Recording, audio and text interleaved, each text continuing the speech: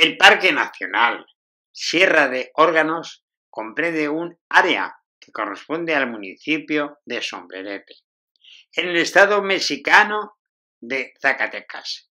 Este lugar cuenta con varias elevaciones escarpadas y formaciones rocosas de extraña belleza, generada por factores climáticos y geológicos.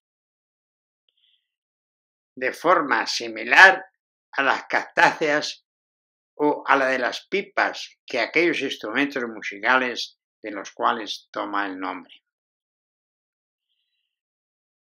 Aunado a la presencia de bosques de coníferas en las zonas altas y matorral y plantas xerófilas en las bajas, es refugio de algunas especies de animales endémicos en la región y otras en peligro de extinción. Es un lugar concurrido para la práctica de deportes extremos, como el ciclismo, el senderismo y también por la belleza escénica de sus paisajes.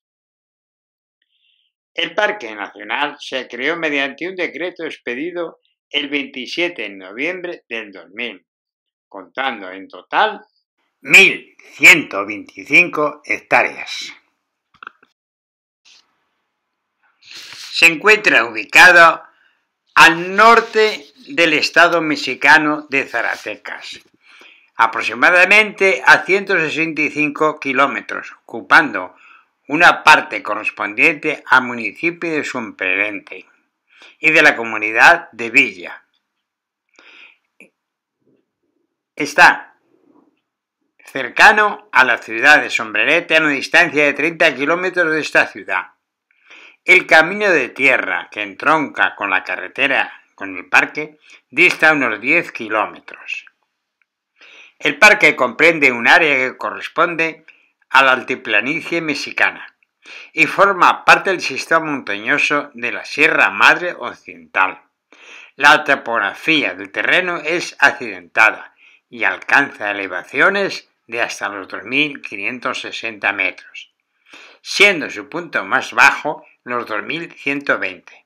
Esto da origen a las cimas escarpadas que forman pequeñas mesetas, de las cuales se desprenden inclinaciones verticales que pueden ser muy pronunciadas y pequeños valles, de los cuales se pueden apreciar las formaciones rocosas que vienen su origen en diversos factores climáticos y geológicos. A pesar de la intervención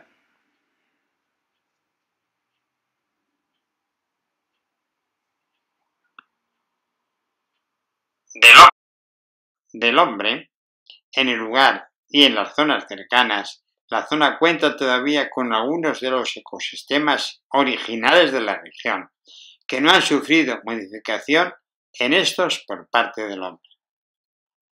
Es un lugar concurrido los amantes de la naturaleza, ya que las cimas y pendientes y se presentan también para la escalada. A pesar de que algunas de las áreas son propias para acampar, se tiene que tener en cuenta la falta de servicios básicos, como el agua y provisiones, que se pueden conseguir en las poblaciones cercanas. El acceso al parque cuesta 20 pesos mexicanos por visitante, que son utilizados para la conservación y limpieza del parque. Se sabe que una de estas piezas, llamada extraterrestre, fue la principal inspiración de Steven Spielberg para crear el famoso ET.